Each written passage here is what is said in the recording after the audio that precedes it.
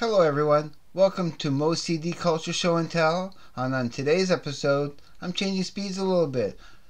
I have, I'm going to show you my favorite movie of all time, Fight Club, from 1999.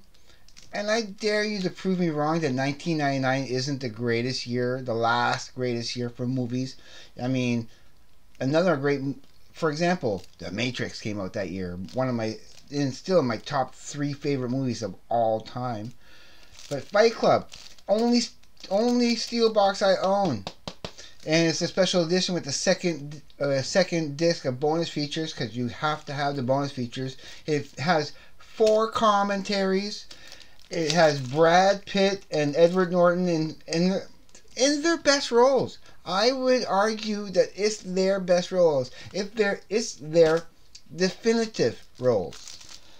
And why I bring up a DVD on a CD culture where I've been promoting music is because I also have the DVD, the the sound the soundtrack.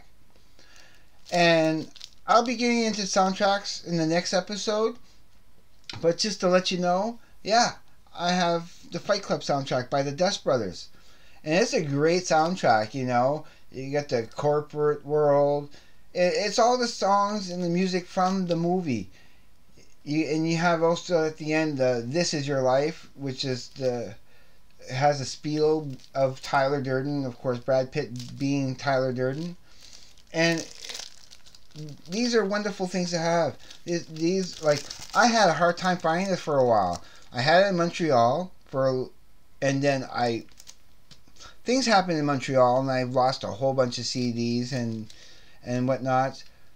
But this was the holy grail uh, at the time to try to refine and get this. I looked everywhere. I tried ordering it, and it wasn't available.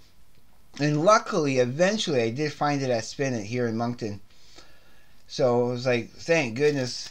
But yeah, I have this. I have the soundtrack to to Fight Club, my all-time favorite movie. And if you've never seen Fight Club, hope you don't have any spoilers because it has one of the best, one of the greatest opening lines, one of the greatest closing lines ever in any movie.